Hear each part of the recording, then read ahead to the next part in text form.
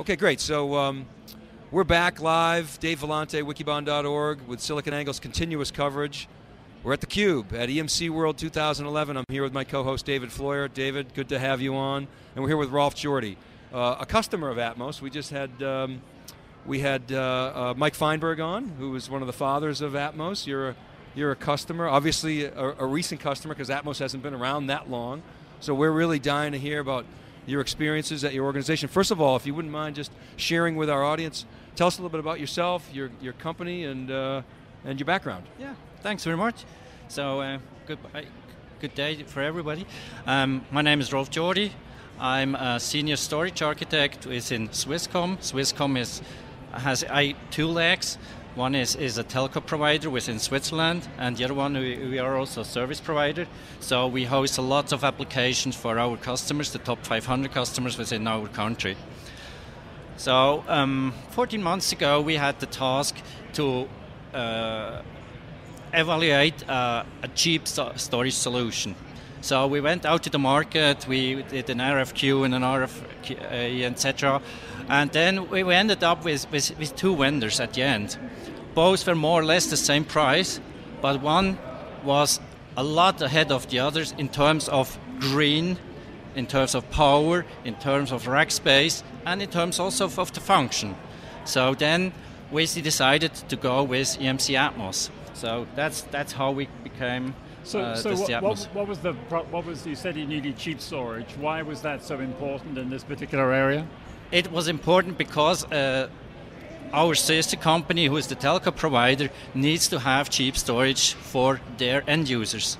So it, right now we have the tier one and the tier two and tier three storage, but this is, is much higher in price than an end user customer or consumer is, is willing to pay. So, so therefore, so for this one, we had to evaluate a cheap solution. So what the service was providing uh, uh, a storage for phone users or uh, yes, telecom uh, users? what we do or what they do is they they trying to build applications where, for example, pictures, photo pictures or backup uh, BC right. online backups, uh, stuff like this, where they can store their data into right. our cloud now. Okay. So and, and, and they don't want to pay anything for it. Uh, they pay something for it, yes, of course. so, Ralph, you're you're a senior storage architect. You're you're not a senior storage cloud architect. You are now, I guess. but but prior to that, I, I presume you have um, uh, experience with traditional storage systems, whether oh, block yeah. or file. Yeah. What um, what's different in this world? What's changed? I would say this, the the speciality here is, and that that's that's the hard piece for me now for to to my colleagues is we have object-based storage. It's not file based, it's object based storage. So you have the chance to, to, stay, to store metadata in it, you have the chance to apply policies, etc. So that, that's a big change in the mind of, of my colleagues because they all they want to do is to store their files. And now with, with cloud storage, it's not that easy. That, that's, the, that's the drawback right now. We have an API, we have a, a good solution, but we don't have the applications yet, the enablers, the connector, or, or how you want to name it. This, this is still missing right now. But the, the, the, the uh, end users or the applications they develop now against the API. So the ones they made the mind shift already, they they're absolutely happy with it, and uh, so so the others they have to do the mind. So you're talking about a whole yeah. new perspective on adding business value. Um, because you can apply metadata principles, you can apply policies, and so forth. Can you? You said the ones that have done that and exploited the architecture more fully are, are really happy. Uh, can you give us some examples so we can sort of visualize that? So you, you, mean in terms of policies? Yeah. Well, you said that, that there's a there's a there's a there's a capability yes. now with object storage that you didn't have before, and some people have taken advantage of it. Yes. Certain applications. Can you share what examples there, there might be? So so for, for example, you, you can you can store a policy which means important. If this is object is important or not. Based on this, then you can apply a policy, which means I need one local copy, I need a mirror copy, or I need the geo parity. So that that's one of the things, and also age-based policy. For example, I can say um, delete this object after 30 days, and this is something they will implement or uh, with the 2.0. So you have you have the age-based policy which automatically deletes the object, and that's that's totally new for so the, that automation and go So, ahead. so Absolutely. it's the method, being able to look at the metadata, Yes. find stuff, uh, Uh, apply yeah. different policies, Yeah, yeah, uh, yeah. performance characteristics, etc. So you have to think about your architecture of your applications uh, differently, I presume. Yes, it is, and, and that's that's a task of my my colleagues who are the software architects that they that they have uh, to rethink how they want to store the data. Right. So we, we had an application which which are storing they, they're using a REST API and the backend they're, they're storing the data as an NFS application. So I came back and they said, "Uh, why are you using this that way? So complicated. Ah, that's that's how we did it for the last couple of years. So I said, no, you have to change it. So I, did, I explained them how it works, how the opportunities are, and they're absolutely happy to do to change this, this now Right. because right. it's, it's it's the right way to go. It's still a far way to go because, then, as I said, it they're not used to it to an application API. But I hope, I hope, and I bet that within maybe a year or two, uh, uh, let's say. Uh, a REST driver will be part of, of, of every uh, OS. Yeah, I think you're Right. right. That's- fact, that's my wish. Yeah, I Yeah. think you're. But I think I think it's a, maybe a prediction as well. I, we, I, I called it a niche before. It was uh, just to poke Mike a little bit because we've talked about this, David, for a long time in the Wikibon community about um, the potential for this type of storage. It's it's enormous. Yep. Um, it's just an, an exploding market, and uh, that the need to rewrite applications is one of the, the barriers to that that growth right now. But it really is going to be exploding. What, what are you seeing there? Yeah, I, I, I, I agree with you that it, the, the opportunity in, in a number of different areas with storage now is how do what are the applications that can really uh, exploit these new technologies? Um, there are a number of new technologies that's coming in. One of them is, is, is Flash. We've talked about it before. Really, how do I architect new systems to take advantage of that? Develop them in completely different ways, uh, solve completely different problems with them, and, So- and design Absolutely. something that is much more effective, much more intuitive to use, much easier So why, for the why, end user.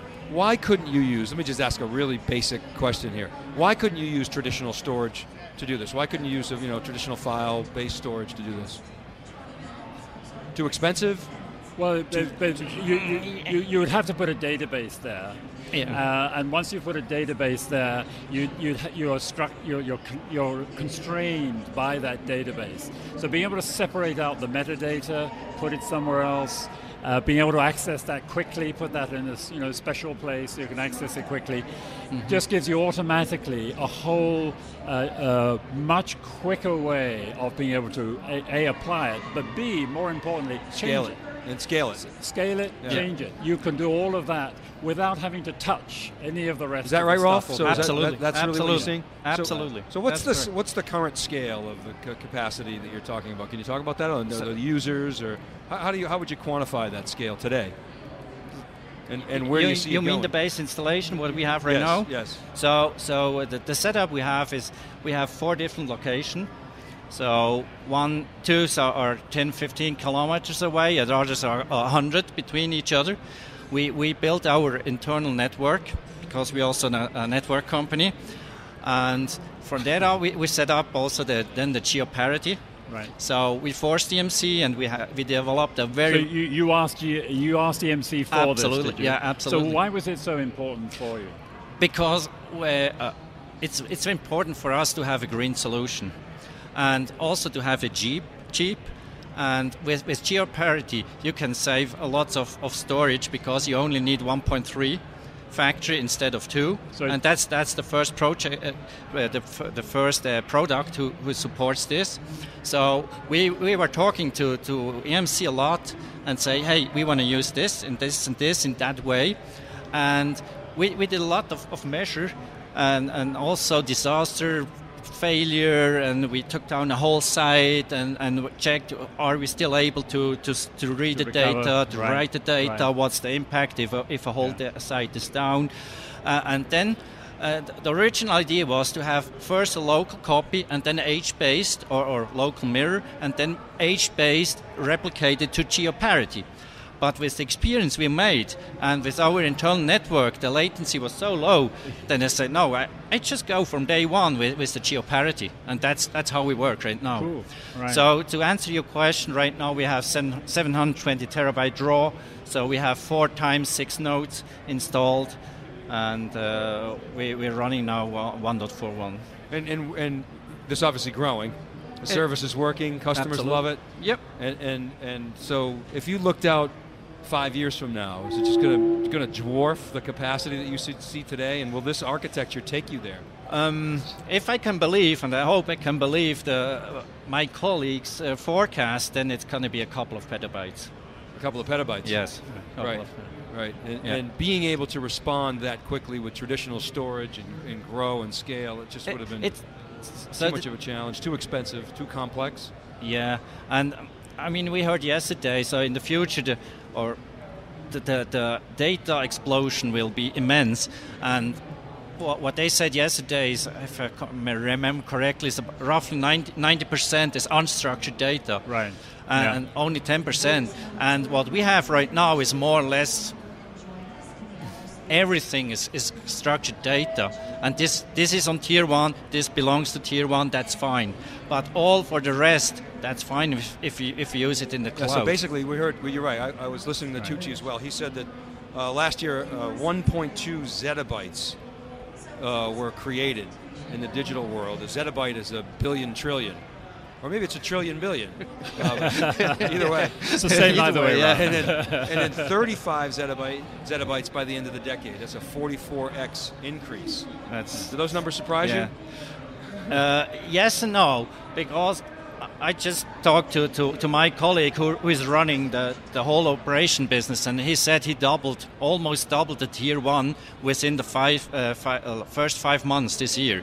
So, So people must be buying it. yeah, Yeah. absolutely, Yeah. absolutely. So it's, So is it's this going to take you to video as well? Have you got video up already, or is you uh, is that a whole new can of worms? No, oh, also we have a customer who who will upload movies into it. Right. We have another internal customer who will also upload uh, video clips into it. Right. So these are the two applications which they develop now against the API. Yep. And one, once I have a, a good, cl- let's say the cloud drive or a good enabler for, for this, then it will it will rock. I, I'm, Right. I'm sure. I'm 100% Yeah. sure. So, Ralph, um, Yeah. this is very interesting. Um, we, we don't talk to tons of, of guys doing object-based storage because they're, uh, you know, they're not everywhere, right? But they're starting to become more and more prominent, and more people are interested in this technology. What advice would you give your fellow storage colleagues that are thinking about moving to object storage and cloud storage? Uh, maybe some things that you would have done differently if you had to do it over again. Share with your peers what you would advise them. So, good question. So, I would say, or for me, number one is security. It's absolutely key. So, I want to go. I want to sleep well. So, for me, everything has to be secure. That that's that's the most important thing, Especially in Switzerland.